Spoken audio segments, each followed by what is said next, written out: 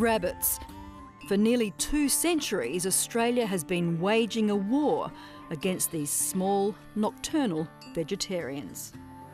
These Lands Department teams are working in complete unison with the farmers of the district and in doing so play an important part in this all-out war on the rabbit. We've poisoned them on the ground and from the air.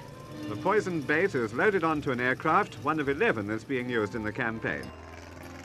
The bait will be dropped on inaccessible areas. Their underground homes have been exploded and bulldozed. And we've infected them with deadly viruses. Still, they remain our most widespread and destructive pest, inhabiting around 70% of the continent, impacting on more than 300 species of native plants and animals, and costing more than $200 million every year in lost production. Domesticated rabbits arrived with the first fleet, but pioneer pastoralist Thomas Austin is blamed for introducing wild rabbits. In 1859, he shipped 24 of them from England for hunting on his property Barwon Park near Geelong. We're releasing the rabbits on Christmas Day, and we shall go out and hopefully shoot them all. Guess he was doing it seemed like a good idea at the time. He was doing what he thought was right, and uh, up until then, I mean, rabbits had been here since 1788. They'd, they'd never really taken off, so his worries were probably are these rabbits going to survive? More than survive, they thrived.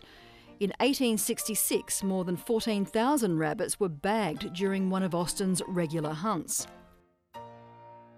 So, in just seven years, 24 rabbits had become more than 14,000 here at Barwon Park, Austin's home. And local landholders were beginning to complain bitterly that rabbits were taking over their pastoral properties and eating their crops. By the 1870s, landowners across Western Victoria and parts of South Australia were building large and long dry stone walls to keep the rabbits out. Building a wall that was rabbit proof was quite an exercise because they had to dig down uh, so the rabbits couldn't easily burrow under it. How successful was that rabbit wall, do you think? Not really, I don't think. The rabbits would have simply gone around the stony rises. They spread right throughout Australia soon after. In the early 1900s, the rabbit proof fence was constructed in Western Australia. It was the longest unbroken fence in the world at the time. As the Great Depression hit, rabbit shooting became a national pastime, providing valuable food.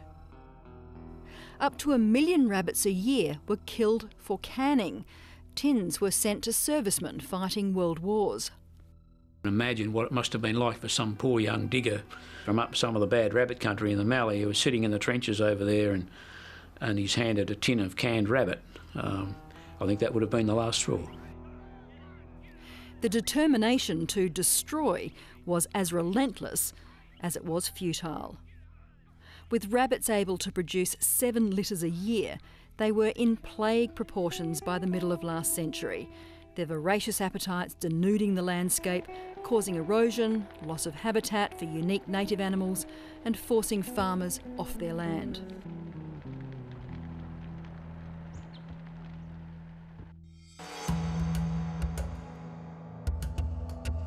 The 1950s saw the first of the biological controls. Myxomatosis was as ugly as it was effective. Within three years of its release in 1950, 90% of Australia's rabbit population had been decimated.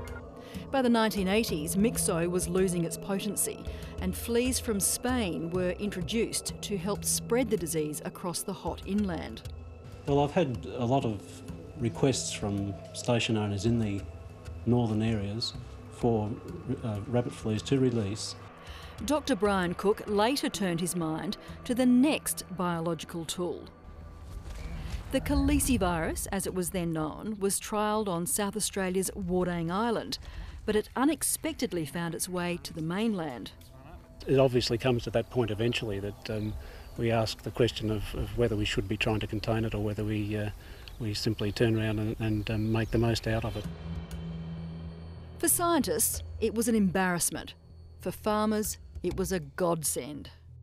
And I remember a story of a fellow near Yunta driving his truck backwards and forwards over a, a dead rabbit and then driving 50 kilometres up to the road to his property. A year after the escape, the calicivirus was formally released.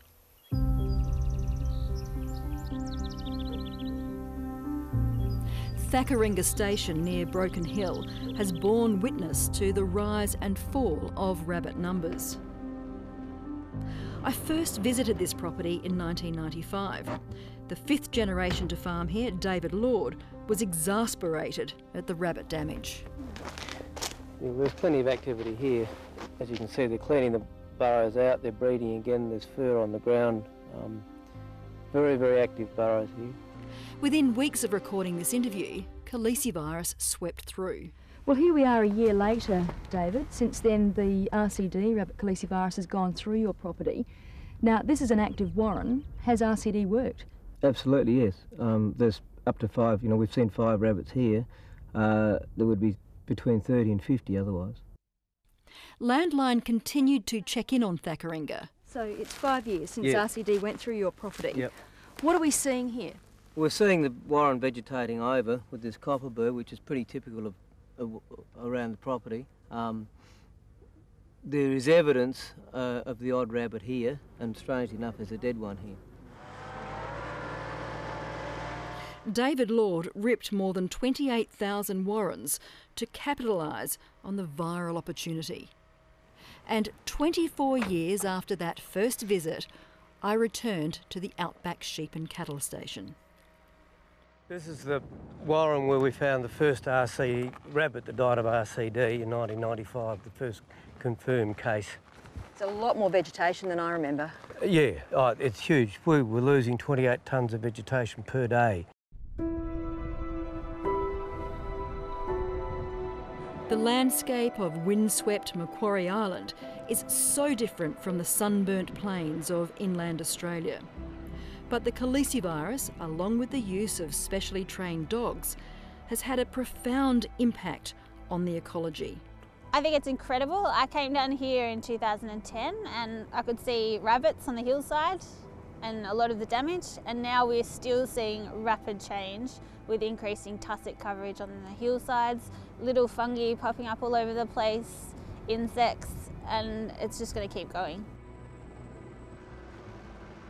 In 2015, the sub-Antarctic island of Tasmania became the first jurisdiction in Australia to eradicate rabbits. And of course, um, eradication is, cannot be done by one, only one method, so it's absolutely essential that the hunters and, and dog handlers followed up. Rabbit. In mainland Australia, eradication will never happen. But with the original calicivirus losing its sting because rabbits have developed immunity, the battle to find new viruses continues. So we brought in 38 variants from Europe and from Asia and really assessed those with the, with the view of trying to select a new strain that was going to have more impact in the wetter, cooler, higher production areas of Australia. Yeah. In 2017, the latest weapon was deployed. Okay. It was a strain of the rabbit hemorrhagic disease, referred to simply as K5 because it originated in Korea. In a giant citizen science project, virus laced carrots and grain were released at more than 600 sites across the country. yeah, there's, there's certainly an, an awful lot of interest from the community to participate in the rollout and to provide us with information. Following the release, spotlight counts helped determine whether it had done its job. Right, there's one. Right, we've got some ice shine. Landline was at the CSIRO in Canberra when the first rabbit to have died from K5 was formally diagnosed. As you can see, the liver is very pale and yellowish, and this discoloration is usually the, the telltale sign that this rabbit died from rabbit hemorrhagic disease. Mm-hmm. But it became clear while the virus was knocking down about a third of the rabbits at release sites, it wasn't spreading. So there'll be people who are watching this who say they can still see loads of rabbits on their properties. On the basis of that, was it a success? I still say yes to that because we've had two breeding seasons since the release. A virus is never going to take out every last rabbit, and rabbits, as we know, breed like rabbits. So as soon as there's one, there's many. K5 is still available and can be distributed to reduce rabbits in specific locations. Oh, I can see something running Yeah. across the screen. Rabbit just ran over That was a rabbit, was it? okay, that's quite exciting, really, isn't it? And the work has already begun to find the next weapon in this never ending battle against the bunny.